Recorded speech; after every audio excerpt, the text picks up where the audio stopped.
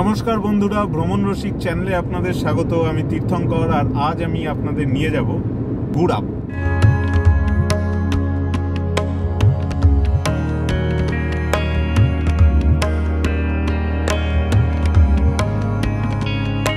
গুড়াপ। গুড়াপ হুগলি জেলার একটা জায়গা।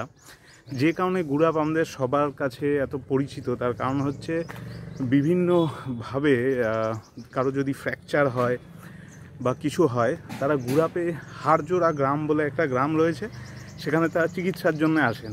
কলকাতা বা তার শহরতলির লোকেরা এইভাবেই গুড়াপকে চেনে, কারণ এখানে ওই গাছগাছালি এসব দিয়ে হাড় জোড়া দেওয়া হয়। এটা বলতে পারেন একটা সম্পূর্ণরূপে আয়ুর্বেদিক পদ্ধতি।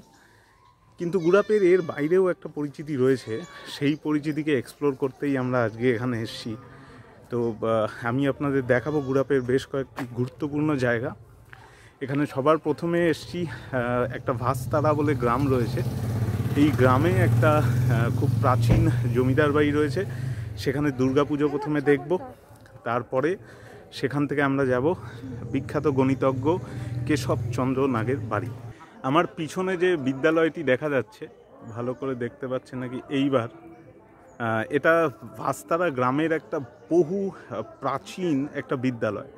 আর এই যে বিদ্যালয়টি রয়েছে, এই বিদ্যালয়ে পড়াশুনোও করেছেন এবং পড়িয়েওছেন গণিতজ্ঞ কেশবচন্দ্র নাগ। শোনা যায়, এই বিদ্যালয় যখন তৈরি হয়েছিল, তখন বিদ্যাসাগর এখানে উপস্থিত ছিলেন এবং তার তত্ত্বাবধানে অনেক রকমেরই বিদ্যালয়ের কাজ হয়েছে। তো এর সামনে যেটা আমার পিছনে রয়েছে, দেখতে পাচ্ছেন পিছনে যেই রাসমঞ্চ এবং সেই লাগোয়া যে বাড়িটি দেখা যাচ্ছে, এই বাড়িটি জমিদার বাড়ি। আর এখানেই দুর্গাপুজো হচ্ছে, অনেক পুরানো দুর্গাপুজো। সেটার ব্যাপারেই খোঁজ নেব, খোঁজ নিতে আমরা এখন ভেতরে যাব, তাই সঙ্গে থাকুন।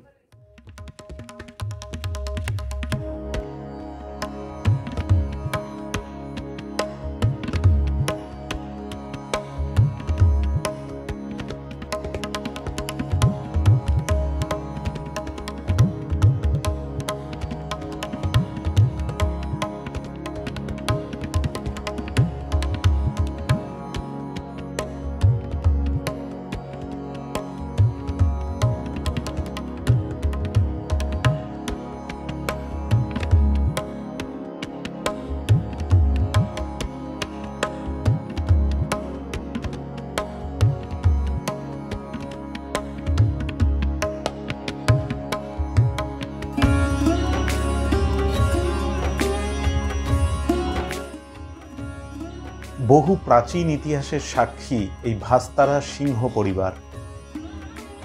শোনা যায়, এই বাড়িতে একবার ঈশ্বরচন্দ্র বিদ্যাসাগর এসেছিলেন। এই বাড়ির দুর্গাপুজোর বয়স প্রায় তিনশো চুয়ান্ন বছর। সেই নিয়েই কথা বললাম এই পরিবারের একজন বয়স্ক সদস্যের সাথে। হচ্ছে প্রায় মোটামুটি কাগজে কলমে পাওয়া যায় পাঁচশো বছর, কিন্তু পাঁচশো নয় সাড়ে তিনশো বছর, তিনশো ষাট এরকমই হবে আনুমানিক। এইটুকু বলতে পারি। পুজো শুরু করেছিলেন ছকুরাম সিংহ মহোদয়। আমাদের এই বাড়ির মানে ভাস্তার প্রতিষ্ঠিত সিংহ বংশ ছকুরাম সিংহ মহোদয়। উনি এই বাড়ির প্রতিষ্ঠিত এবং উনি এই দুর্গাপুজো প্রতিষ্ঠিত করেন। এটা ছিল মাটির দালান, উনি এটাকে ভেঙে ইটের করে এবং পুরোদমে দুর্গাপুজো চালু করেন। তারপরে ওর এক ছেলে কৃষ্ণপান সিংহ মহোদয় উনি ওর বসুয়া বলে একটা গ্রাম আছে বসো গ্রাম এখানে এই হাইওয়ের ধারে দুর্গাপুর এক্সপ্রেসের ধারে। সেই গ্রামের ওদের একটা বাড়ি ছিল আমাদের একটা বাড়ি ছিল এবং ওর শ্বশুর বাড়ি ছিল ওর পাশেই। গড়বাটি বলে জায়গাটা ওই গড়বাটিতে ওর বাড়ি ছিল। কিন্তু সে বাড়ি ধ্বংসস্তূপ হয় এবং ওখানকার ক্লাব ওই জায়গাটা দখল করে নিয়ে এখন সব ইট ফিট বিক্রি করে এখন নিজেরা ফুটবল গ্রাউন্ড করেছে। এই হচ্ছে ইতিহাস। এবং উনি ওখান থেকে ঠাকুর নিয়ে চলে আসেন। শ্রীধরজিও আমাদের বর্তমানে বংশের অধিষ্ঠাত্রী দেবতা, উনি এসে এখানে বাস করেন এবং তার পুজো আচ্চা এখনও হয়ে আসছে। শ্রীধর বিহুয়ের বাড়ি হচ্ছে অরিজিনাল বাড়ি ওই ঠাকুর বাড়ি। ওখানে একবার চুরি হয় খুব চুরি হতে আমরা ভয় পেয়ে যে ঠাকুরকে চুরি করে নিয়ে যাবে।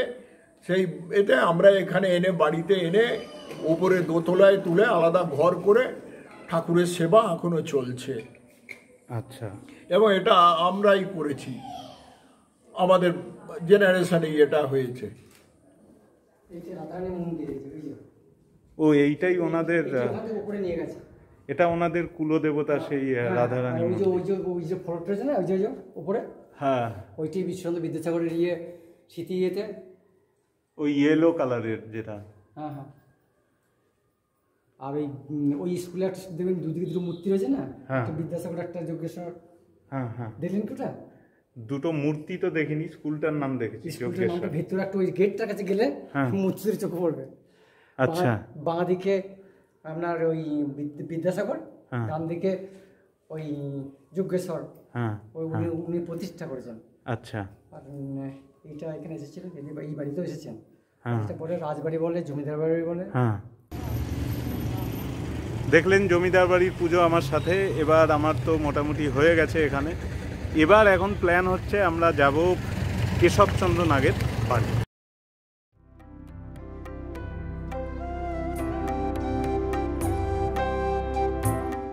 গুড়াপ গ্রাম পঞ্চায়েত অফিসের কাছে বাংলার প্রাচীন টেরাকোটা মন্দিরগুলির একটি দেখতে পাওয়া যায়। বর্ধমান রাজের অমাত্য রামদেব নাগ প্রতিষ্ঠিত এই শ্রী শ্রী নন্দদুলাল জিউ মন্দির। আটচালা শৈলীর এই মন্দির স্থাপিত হয় সতেরোশো উনপঞ্চাশ খ্রিস্টাব্দে। মন্দির প্রাঙ্গণে গোপেশ্বর শিবের দেউল মন্দির রয়েছে।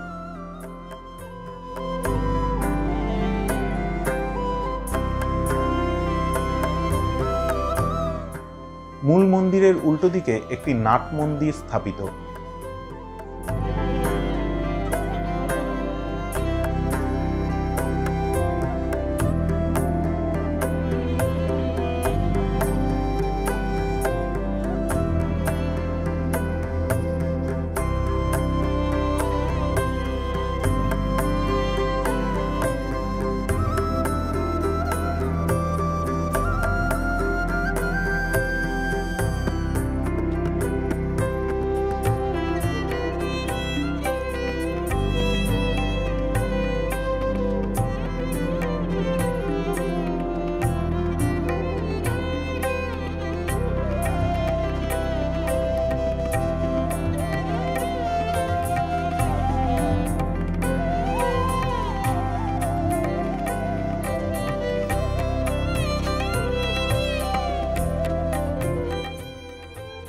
মুগ্ধ হয়ে দেখতে লাগলাম মন্দিরের দেয়ালে অসামান্য টেরাকোটার কাজ।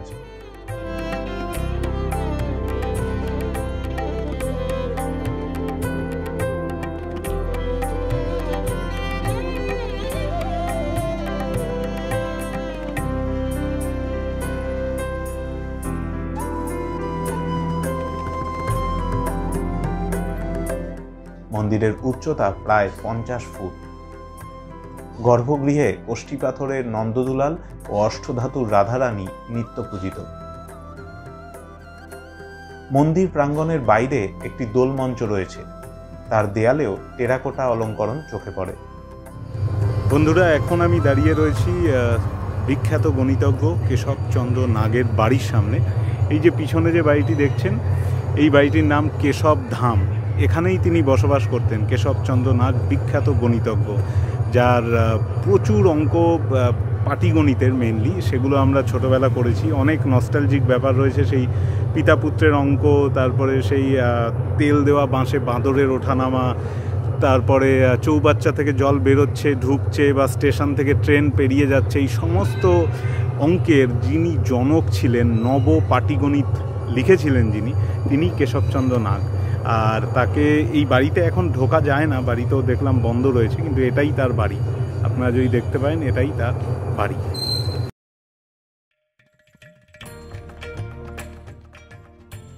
বাল্যকাল থেকেই শ্রী কে সি নাগ পড়াশুনো করতেন ভাস্তারার যজ্ঞেশ্বর বিদ্যালয়ে। পরবর্তীকালে সেই স্কুলে শিক্ষকতাও করেন তিনি। স্নাতকোত্তর তিনি দীক্ষা গ্রহণ করেন মা সারদা দেবীর কাছে। পরবর্তীকালে কলকাতার মিত্র ইনস্টিটিউশনে শিক্ষক হিসাবে তিনি নিযুক্ত হন। কবিশেখর কালিদাস, কথাশিল্পী শরৎচন্দ্র এবং আরও অনেক গুণী মানুষের উৎসাহে কেশবচন্দ্র তার লেখা প্রথম বই পাবলিশ করেন উনিশশো বিয়াল্লিশ সালে। তার লেখা অঙ্কের বই পরবর্তীকালে বিভিন্ন ভাষায় অনুবাদিত হয়েছে। ফেরার পথে চোখে পড়ল প্রাচীন দুটো পঞ্চরত্ন শিব মন্দির মন্দিরগুলির দেয়ালে কিছু কিছু টেরাকোটার কাজ আজও চোখে পড়ে।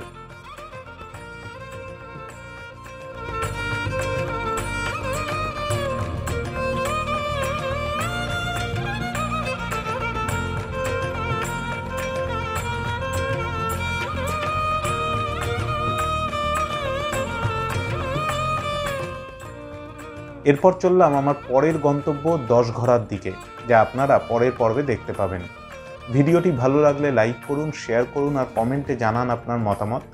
চ্যানেলটিকে সাবস্ক্রাইব করতে ভুলবেন না। ভালো থাকুন, সুস্থ থাকুন আর দেখতে থাকুন ভ্রমণ রসিক।